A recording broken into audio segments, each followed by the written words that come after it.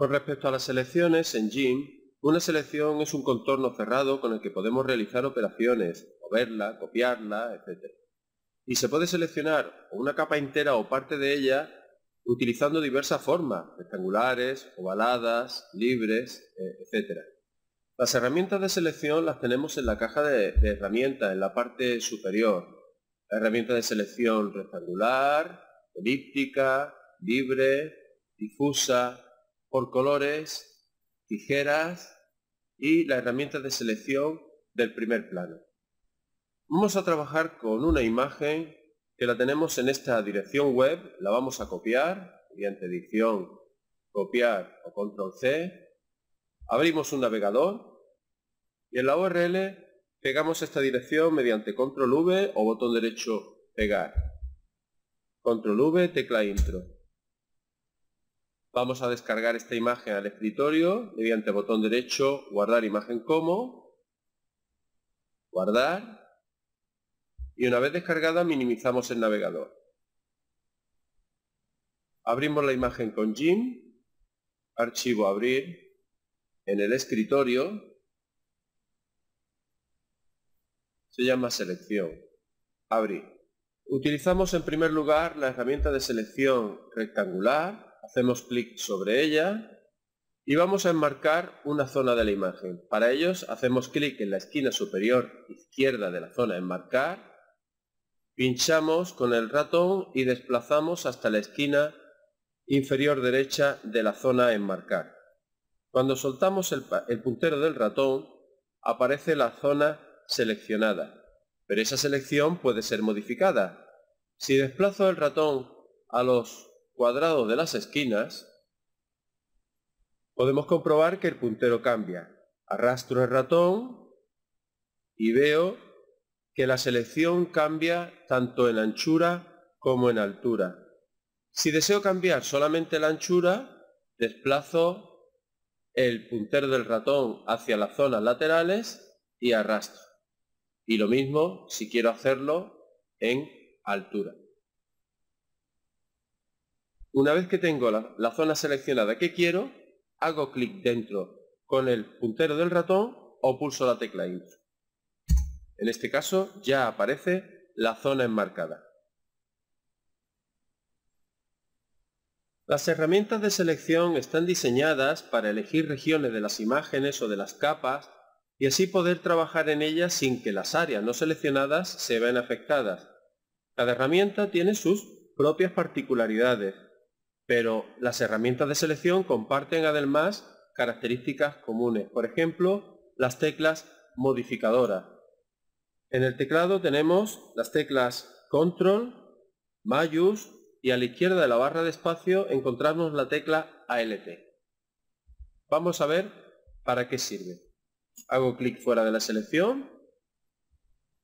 Empezamos por la tecla Control. Al crear una selección, mantener presionada la tecla Control puede tener dos efectos diferentes en función de cuando se pulse. Si se pulsa antes o se pulsa después de hacer clic con el ratón. Voy a hacer clic con el ratón y después pulso la tecla Control. En este caso se convierte el punto en el que he hecho clic en la zona central de la selección. Para aceptar la selección hago clic dentro. Si ahora mantengo presionada la tecla control antes de hacer clic, control, clic, lo que estoy haciendo es definir una zona que va a extraerse de la selección anterior. Es decir, este cuadrado, esta selección, se va a extraer de la selección anterior. Al hacer clic, nos quita esta selección y nos mantiene esta.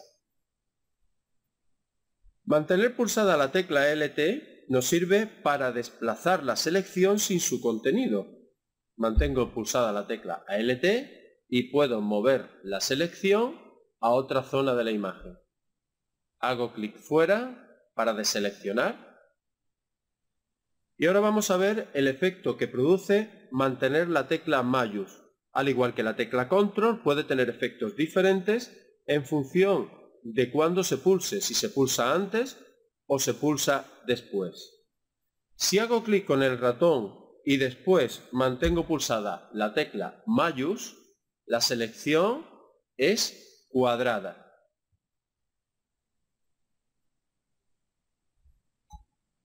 Hago clic dentro, desplazo el puntero fuera y ahora voy a presionar la tecla Mayus antes de hacer clic. Mayus, clic. Con esto lo que voy a hacer es añadir a la selección anterior la que estoy realizando ahora. En opciones de herramienta hay algunas que aparecen en todas las herramientas de selección, aunque no tengan efecto en algunas de ellas. Son las siguientes. Modo determina la forma en que la selección que se crea se combina con cualquier selección preexistente. El modo que hay seleccionado por defecto es reemplazar, que hace que cualquier selección existente sea reemplazada cuando se hace una nueva selección. Por ejemplo, esta selección existente desaparecerá cuando haga una nueva. El segundo modo es añadir, que es igual a mantener pulsada la tecla mayús. Hace que la selección que se haga se añada a cualquier selección existente. La selección nueva se añade a la que ya existía. El tercer modo, extraer, produce el efecto de mantener pulsada la tecla control. La nueva selección borra la selección que se haga dentro de una selección existente.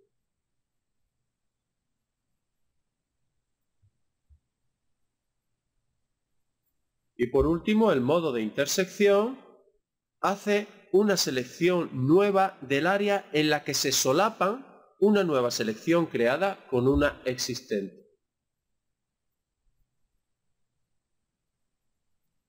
Una vez seleccionada una zona, podemos copiarla y pegarla en otra capa o en otra imagen. Para ello, vamos a seleccionar una nueva zona y mediante editar, copiar, copiamos esta selección. Y ahora la podemos pegar, editar, pegar como una capa nueva. En la ventana capas vemos que se ha pegado la imagen como una capa nueva. Borramos esta capa. Otra forma de hacerlo es mediante la combinación de teclas control V. Pero en este caso en la ventana capas se nos crea una selección flotante que tenemos que anclar en la misma capa o crear una capa nueva. Botón derecho a una capa nueva.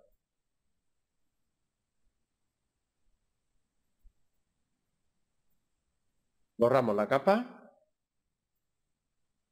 Mediante editar, pegar como, imagen nueva, podemos crear una imagen nueva con la selección que hemos realizado.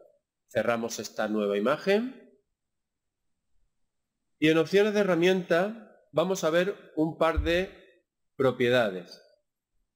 Si hacemos clic en la casilla difuminar los bordes y elegimos una nueva selección, los bordes van a aparecer difuminados.